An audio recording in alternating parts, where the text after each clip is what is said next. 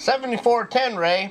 Hey guys, I know that when you build a Mosin Nagant or you build a SKS and you have that bayonet that uh, you end up doing, what the hell am I going to do with this thing? Well, I came up with a solution. You have your bayonet and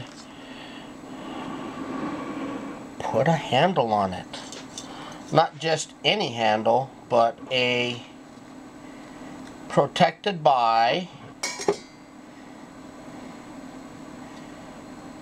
44 Magnum Smith & Wesson.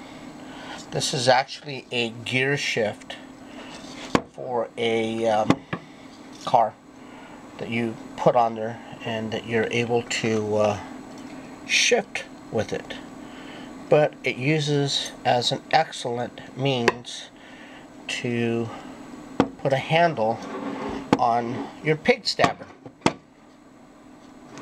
There you go. I think it's kind of cool. Kind of neat. First of its kind that I've ever seen. Okay guys, 7410 Ray saying God bless America. Long live the Republic. And remember, guys, freedom ain't free. Hey, Merry Christmas. Christmas is coming up. Don't forget to hug somebody. Give a gift to somebody you really don't like, like a liberal.